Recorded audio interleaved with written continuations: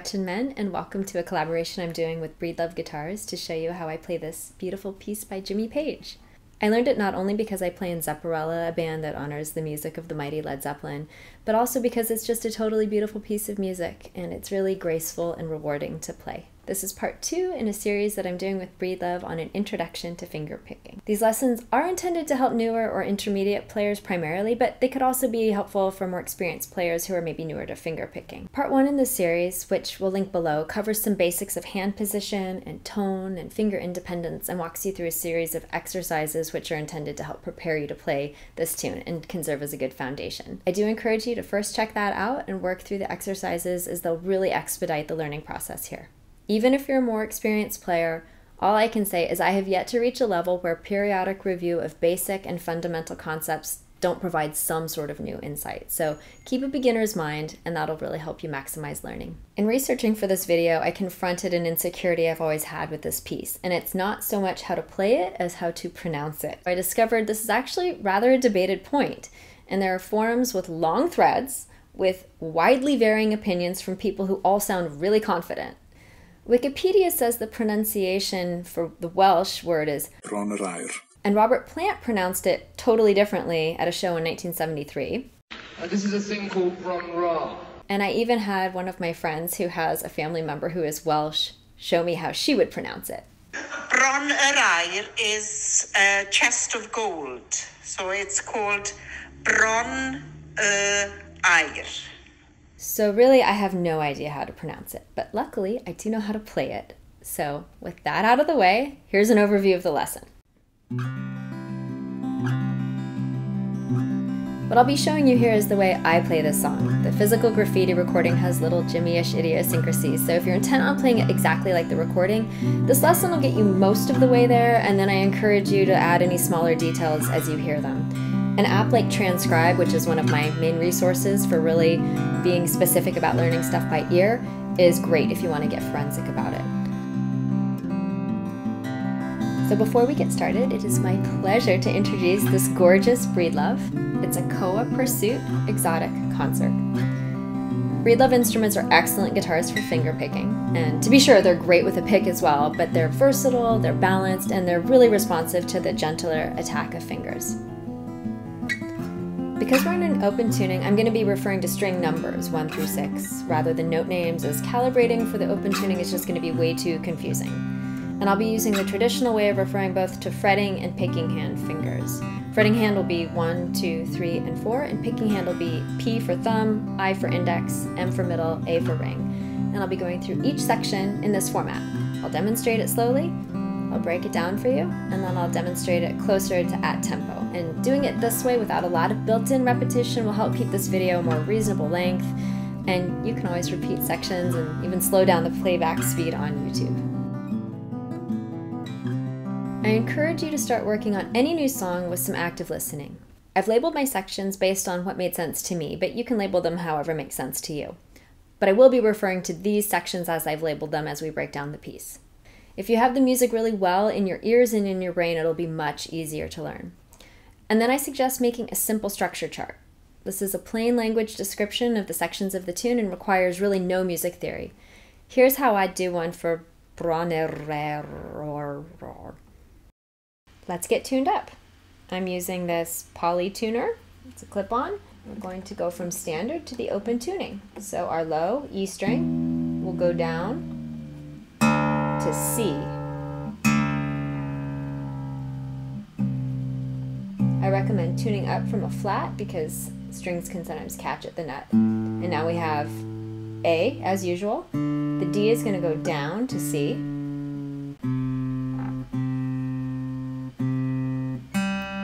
G stays the same. The B is going to go up to C, just a half step.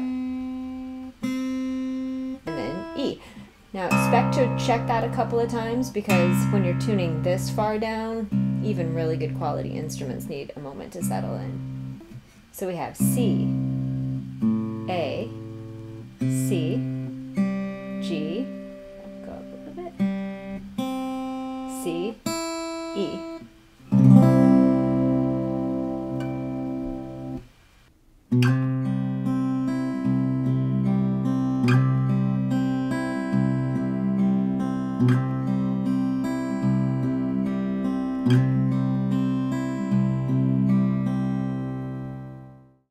here's how to play it. You can think of it as two mini sections. Mini section one, slide from the second to the third fret of the fifth string. I'm using my fretting hand middle finger and my picking hand thumb. I'm using a rest stroke here, but you can use a free stroke if you prefer. Then it's the open top strings ascending. So third string with the I, second string with M, first string with A. Mini section two, it's the same right hand pattern, but everything shifts down a string and all open strings. So just sixth string, fourth string, third string, second string, still P I M A. I suggest practicing each of the two sections until both feel comfortable and have a nice tone. Don't move on when you're just getting the mechanics. Make sure things feel good and sound good.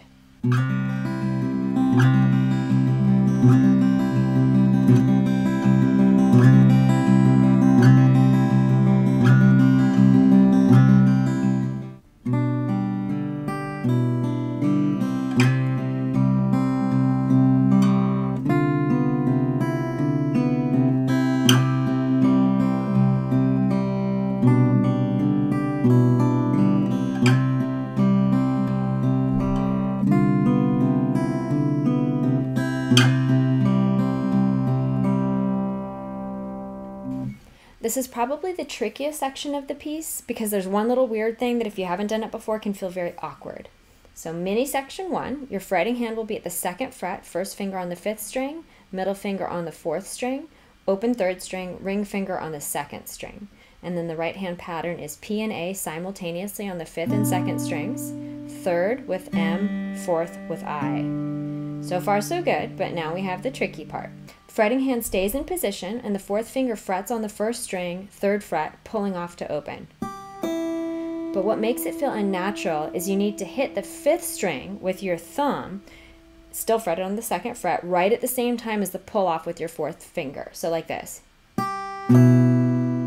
If that feels way too weird, you can work toward it by hitting the lower note immediately after the pull off and then gradually work to bring the two notes closer together. So, like this.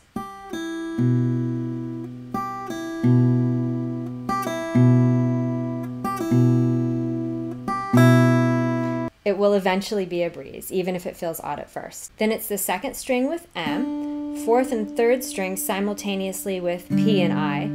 Third finger of the fretting hand lifts and play the open second string with M. So, like this so far. Mini section three, we're going to slide up from the second to the third fret of the fifth string with your second finger hitting it with P. Open fourth string, I, Open sixth and third strings played simultaneously by P and M. Open second string with A, and then it's sixth, fourth, and third with P, I, M. Now we move on to the fourth position. The fretting hand, with the second finger's on the fifth string at the fifth fret. The fourth string is open. The first finger is at the fourth fret of the third string, and the second string has your third finger at the fifth fret. The picking pattern is going to be P and A, fifth and second strings, third string with M, fourth string with index.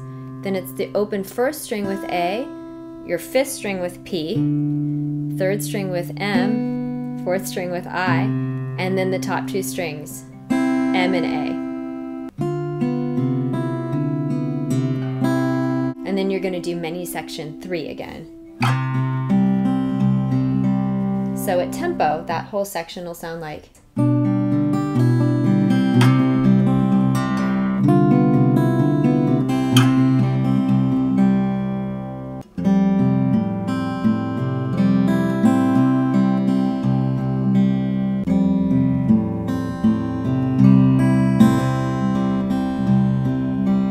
This is mostly open strings. So we'll start with the middle finger of the fretting hand on the fifth fret of the sixth string and then we have mini section one, and it's mostly just a right hand picking pattern. So that pattern is going to be P and M on the sixth and third strings, I on the fourth string, P on the fifth string, M on the second string, P on the fifth string, I on the fourth string, open sixth and third strings together. And then we're going to have the open first string with A. Mini section two, we're going to shift positions. And then open third string with I, open second string with M, sixth string, fourth string, third string. Just P, I, M. So what that sounds like closer to tempo is.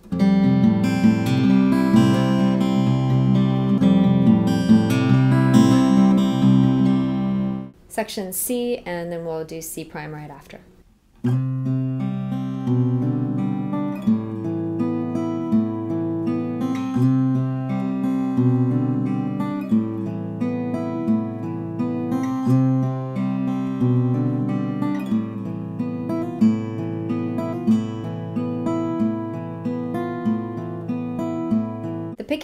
Section is fortunately very straightforward. It's pretty much exclusively P-I-M-A. For each of these sections, you can break them down into mini sections by each arpeggio, but because the right hand pattern is so continually the same, it might mean you work through a couple of different arpeggios at a time, focusing on just smooth, graceful transitions.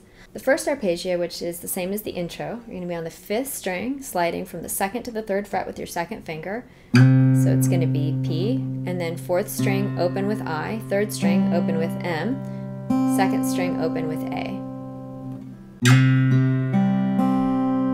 The second arpeggio, which is the same as the A section, is going to be fifth string, second fret, first finger with P, fourth string, second fret, second finger with I, third string open with M, second string, second fret, third finger with A. So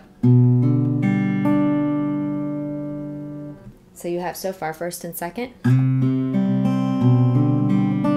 Now going between the second and the third arpeggio, notice you're going to have your third finger that's going to stay in common. So I actually use it to slide up to this next position. You're going to be at the fourth position here.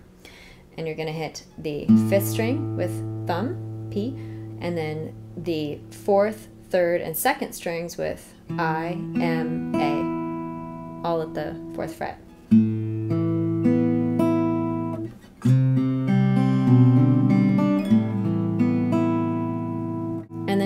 Fourth arpeggio, it's going to be almost the same as the third. What you're just going to do is you're going to lift your ring finger.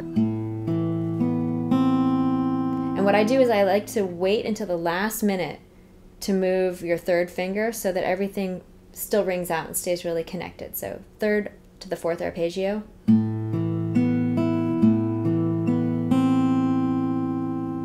Then we have section two, which is really just an extension of this last arpeggio, and it incorporates another little slur, a hammer on and pull off with your fourth finger.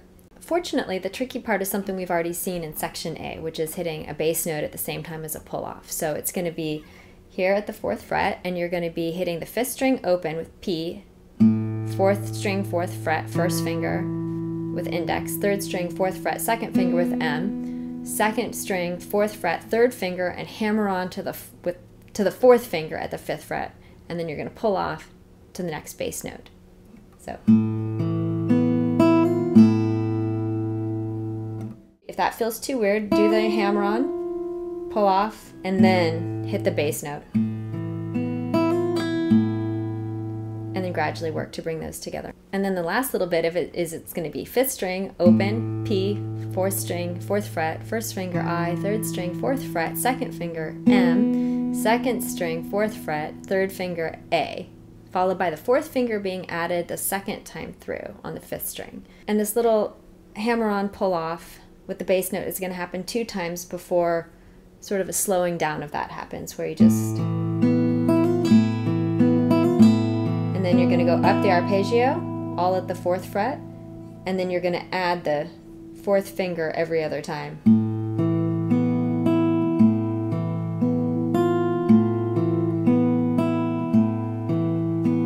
At the very last, when you're going to replace, or at least this is the way I do it, I replace my third finger with my fourth finger so I can get my my fingers in position to slide up to this D section because the slide's kind of an important part of that sound.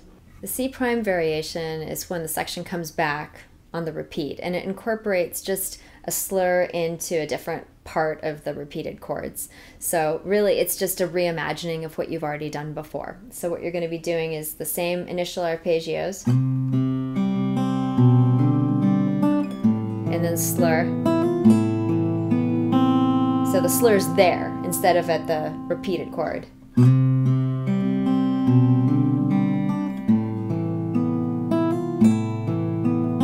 And then that repeats three times. So then it's two cycles through these arpeggios, just adding the fourth finger every other time. Almost there, and we're at one of the easier sections.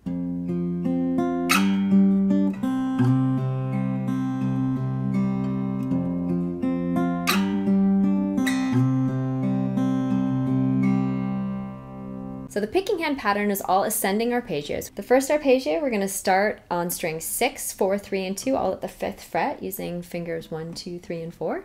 And the picking hand pattern is just P, I, M, A. And then for the second arpeggio, we're going to slide up to the 7th fret and really lean into that slide because it's part of the sound. Um, we're actually not hitting the low string again though. We're just letting it ring out and then I, M. And then we're going to lift our fourth finger right before hitting that open second string. And then for the third arpeggio, we're going to have the second finger sliding from the second to the third fret on the fifth string. And then it's going to be P, I, M, A on strings 5, 4, 3, and 2. And then P, I, M on strings 6, 4, and 3. One thing to be careful of is hitting the lowest string too hard as it'll cause intonation problems.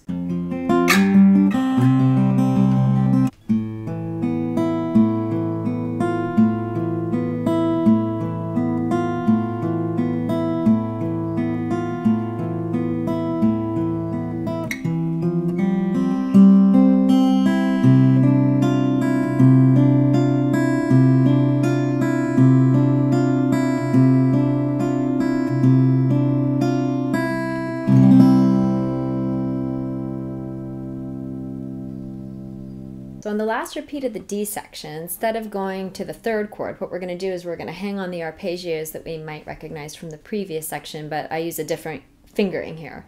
I bar at the fourth fret and then add my second finger every other cycle, like this. And it's P-I-M-A.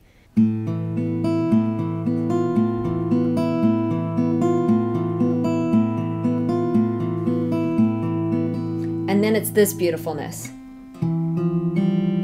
I'm using my pinky on the fifth string, seventh fret, first finger on the fourth string, fifth fret, and then it's open strings, and we're going to be ascending. So P, I, M, A. And then we're going to just shift that shape upwards. So now we've got our fourth finger on the seventh fret of the fourth string. Now the right hand stays the same on the fourth, third, second, and first strings, but we're shifting up one more set of strings here with our fourth finger now on the seventh fret of the third string and our first finger on the fifth fret of the second string. So all together.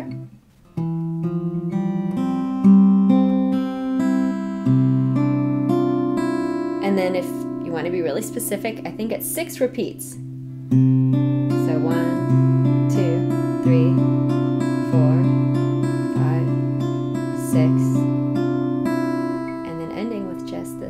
Chord other than the second finger on the third fret of the fifth string. And you can really let your thumb just rake across those strings and get a nice arpeggio sound. Take your time and stay patient with yourself. Practice slowly and deliberately because quickness and fluency will come naturally if your process is good. Use the metronome to keep you honest. Most importantly, though, have fun with it. Remember, this video has the various chapters for easy reference so that you can revisit the parts that are more difficult for you. I know we went through things kind of quickly. Once you have each section down, then work to start putting them together and build the whole picture from the smaller parts. Work the transitioning between sections too so that things flow gracefully, not just within the sections. Remember, even big challenges become surmountable with focus and perseverance. You will get it, I know you will, and I'm rooting for you. If this video might have been helpful to you, please like, comment, share, and subscribe. It really helps creators be able to continue to provide free educational resources. I'll be doing more videos with Breedlove in the coming months, so keep an eye out and leave a comment if there's something specific you'd like me to cover in an upcoming video. I wish you the very best on your musical journeys. It's an endless and beautiful path. Thank you so much for being here with me.